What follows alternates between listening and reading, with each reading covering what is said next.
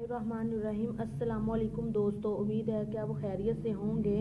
आज मैं आपसे प्याज अंडे बनाने की रेसिपी शेयर कर रही हूँ, मगर अंडे प्याज आलमोस्ट हर घर में मौजूद होते हैं।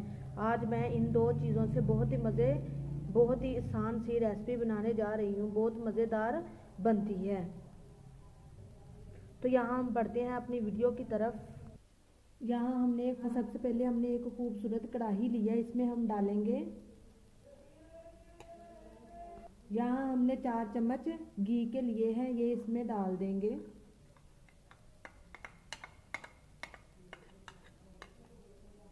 आप चाहें तो कुकिंग ऑयल में भी बना सकते हैं, देखिए हमारा घी गर्म हो चुका है।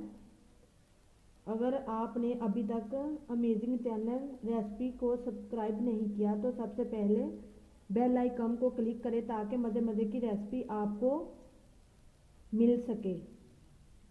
यहाँ हमने मीडियम साइज़ के दो प्याज लिए थे, ये इसमें डाल देंगे। डालने के बाद मैं इसे पाँच से चार मिनट तक फ्राई करूँगी।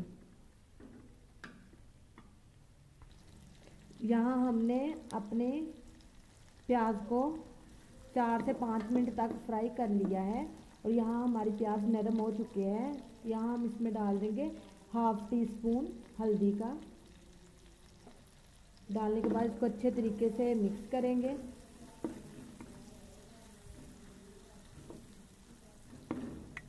मैं आपके साथ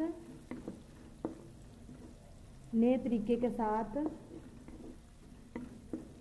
बनाना सिखा रही हूँ। और यहाँ अब हम इसमें डाल देंगे। यहाँ हमने एक चम्मच हरी मिर्च का लिया है, ये इसमें डाल देंगे। इसको अच्छे तरीके से मिक्स करेंगे।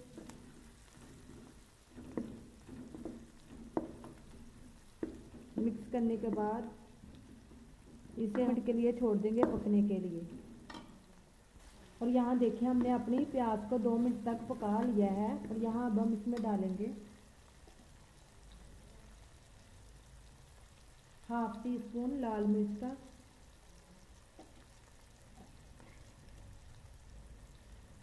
हाफ़ टी स्पून इसमें डाल देंगे नमक का। आप भी अपने घर में इस तरीके से बनाएँगे तो बहुत लाजवाब बनेंगे। और यहाँ देखिए, हमने अच्छे तरीके से मिक्स कर लिया है। यहाँ हमने यहाँ हमने दो अदद अंडे लिए हैं। हम इसके ऊपर नहीं डालेंगे, हम प्याज को साइड पर करके फिर इसमें अंडे शामिल करेंगे। अंडे डाल देंगे।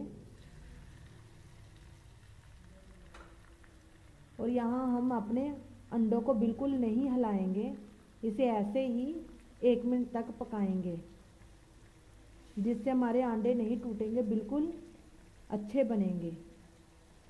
और यहाँ देखिए, हमने इसे एक मिनट तक एक साइड से पकाया है, और अब हम दूसरी साइड से भी पलटा देंगे। ये देखिए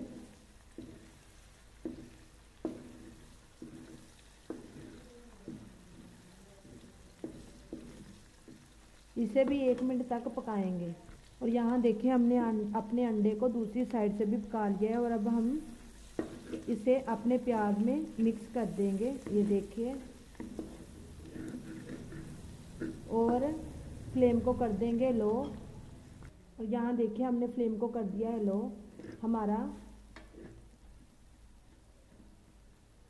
प्याज अंडे की रेसिपी बिल्कुल तैयार है। और यहाँ हमने थोड़ा सा धनिया लिया था, ये इसके ऊपर डाल देंगे।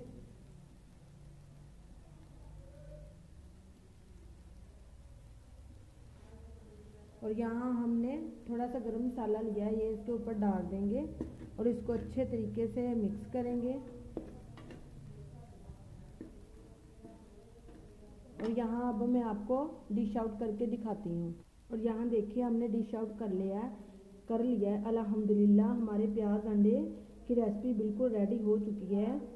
आप इसे ब्रेड के साथ खाएँ, परांठे के साथ खाएँ, चपाती के साथ खाएँ। यहाँ हमने आपको बताया है कैसे आप आसानी से घर में प्याज अंडा बना सकते हैं। अगर आपको ये मेरी आसान रेसिपी पसंद आई है तो ज़रूर ट्राई कीजिएगा। और कमेंट में बताएँ कि आपको ये रेसिपी कैसी लगी। अगर आप मेरे चैनल पर नए हैं तो प्लीज़ मेरे चैनल को सब्सक्राइब ज़रूर करें। और यहाँ अब हम मिलेंगे एक नई वीडियो के साथ। तब तक के लिए अल्लाह हाफिज़।